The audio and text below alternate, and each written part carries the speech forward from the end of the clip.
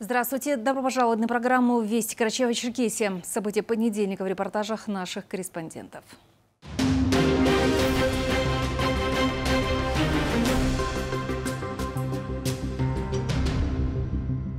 1740 жителей республики привились от COVID-19 за эти выходные. Медленные темпы вакцинации в мире привели к тому, что коронавирус выиграл время и получил возможность мутировать, говорят врачи.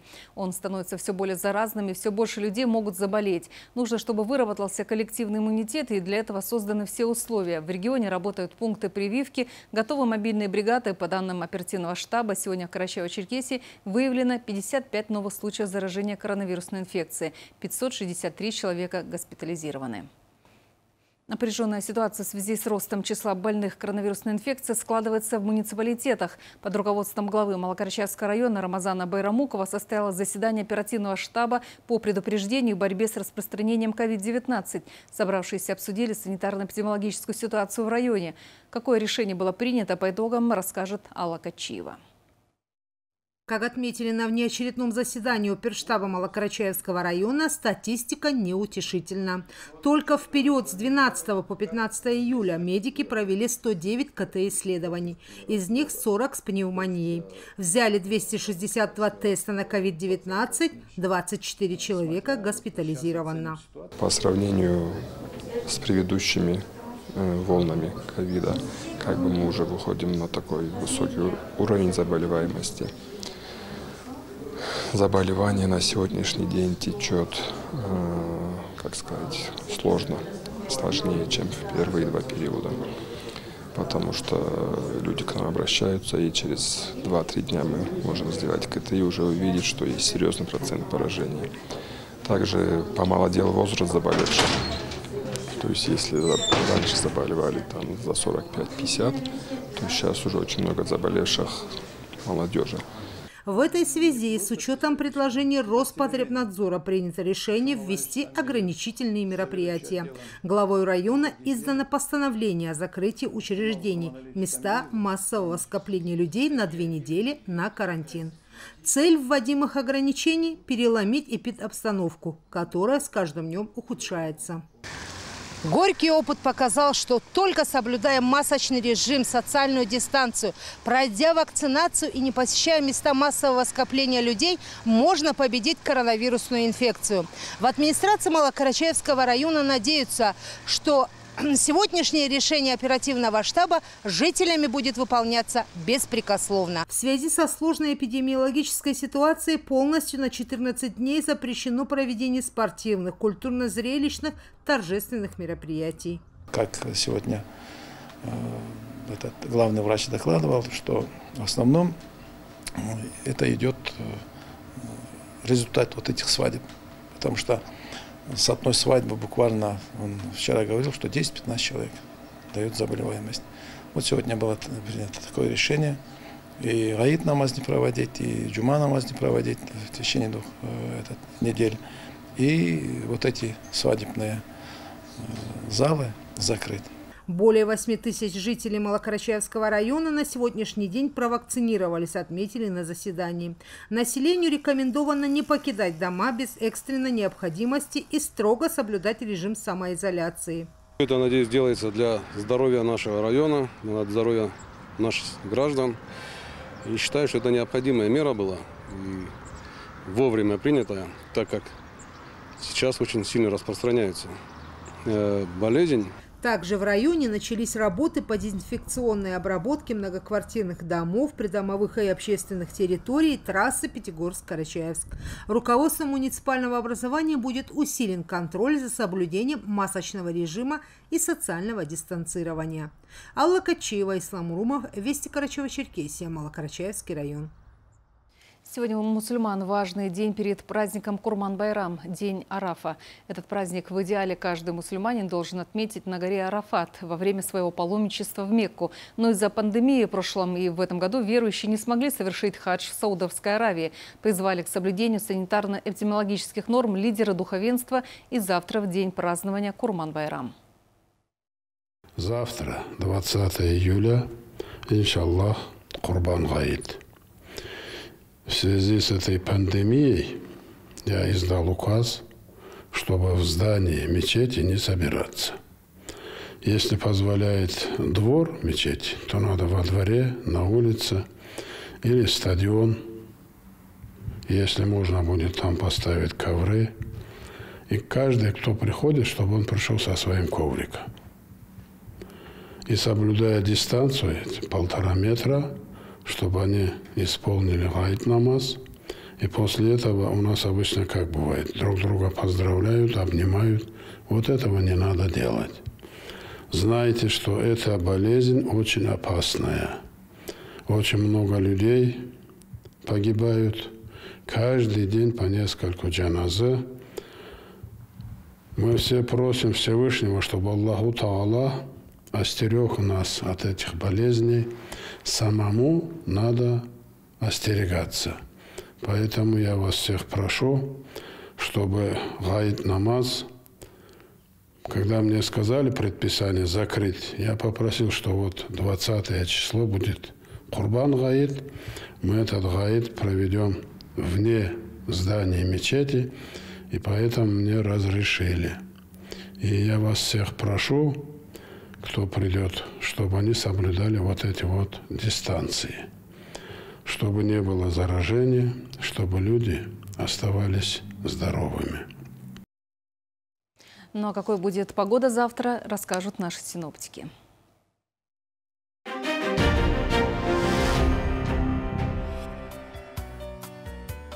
В Карачаево-Черкесии без существенных осадков. Ветер западный 5-10 метров в секунду. Температура ночью 16-21, а в горах 9-14, а днем 31-36.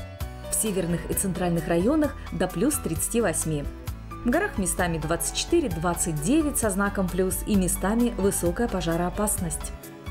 В Черкеске без осадков, ветер западный 5-10 метров в секунду. Температура ночью 19-21, а днем 36-38 градусов тепла.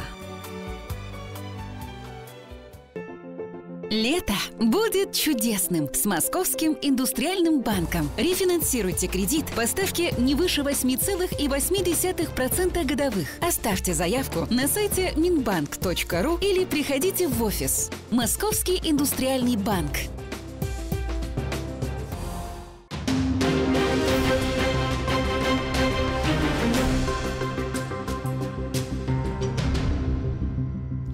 «Большие вести» в прямом эфире мы продолжаем.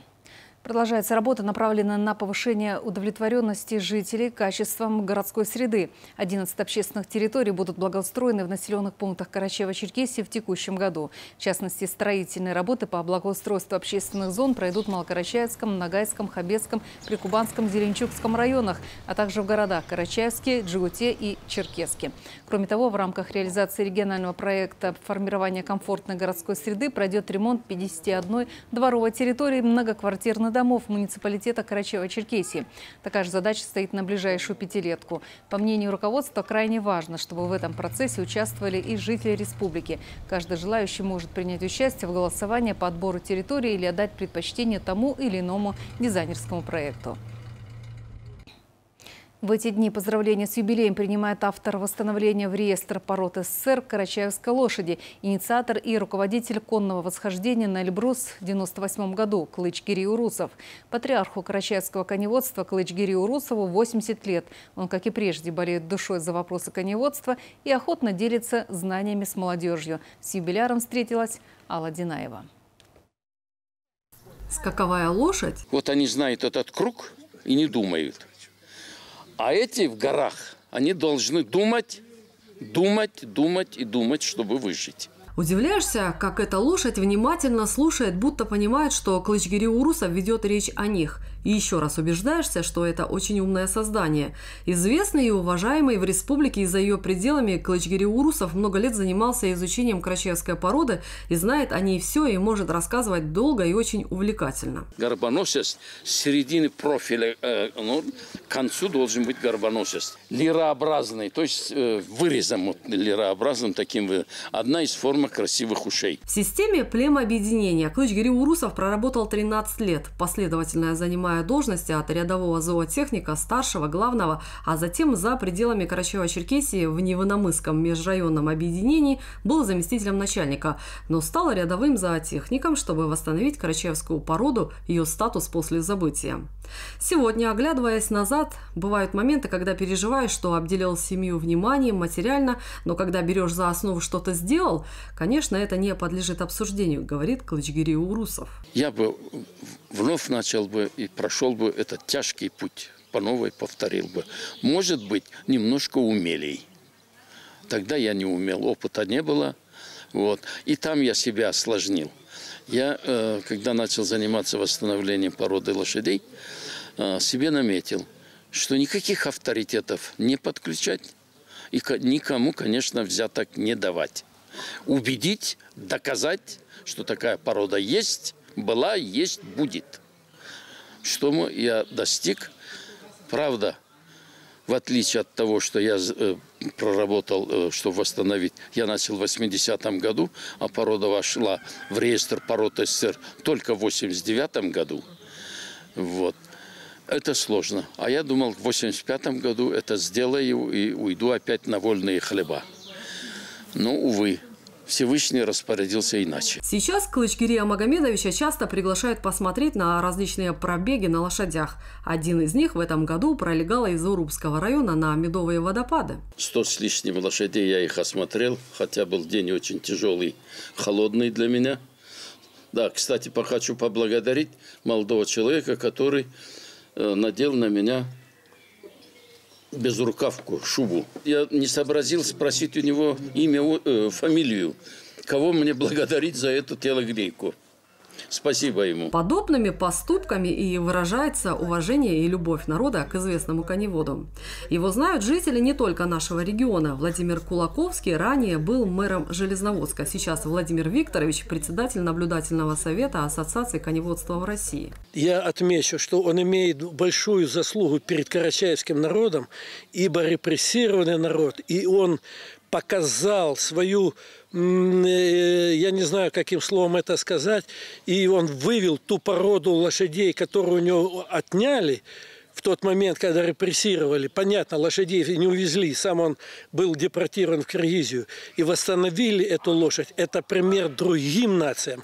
Конезаводчик Виктор Хмара говорит, что пришел в день юбилея сказать Клычгирю Урусову спасибо. Каждый человек в жизни оставляет свой след – вот я считаю, что Клыч Гирей проживает жизнь не зря. Я хочу ему пожелать долгих лет жизни предстоящим юбилеем, чтобы мы еще встречались неоднократно и желали ему добра и здоровья. Член Союза писателей Москвы Саид Баев в день рождения юбиляра обратился к руководству Карачаевска с предложением. Чтоб стоял памятник э, из двух частей, двух компо... ну, композиций из двух. Значит, один человек, одна лошадь. Э, человек это, естественно, в своей знаменитой шляпе наш Клочкири Магометович, а лошадь, одна из двух лошадей, Даур и Хурзук, там, которые первыми вошли на Эльбрус рядом. Это был бы памятник очень значимый, очень нужный, очень важный, имеющий и воспитательный эффект для молодежи и так далее. Я бы просил, чтобы если кто нас будет слышать, люди, от которых это может зависеть, чтобы сделали такой памятник. Верхом на лошади человек теряет дурные мысли, цитирует известного историка Льва Николаевича Гумилева Клычкири Урусов. И от себя добавляет, что человек, который с детства в седле на лошади, он теряет чувство страха, у него появляется чувство благородства, то есть уважение к лошади, а одно чувство перемещается в другое. Вот такую большую пользу приносит общение с этими благородными животными человеку. Алла Динаева, Расул Бердиев, Вести, Карачева-Черкесия. И последнее. Завтра в Карачаево-Черкесии запланирована плановая профилактика телепередающего оборудования. В этот период возможны кратковременные приостановки трансляции 20 цифровых эфирных телеканалов и FM-радиостанций. В 9 часов на нашем канале начнется прямая трансляция праздника Курман-Байрам с Московской соборной мечети. Таким был понедельник Карачаево-Черкесия. Прямо сейчас первые серии фильма «Хозяйка горы». Приятного просмотра и ждите вестей.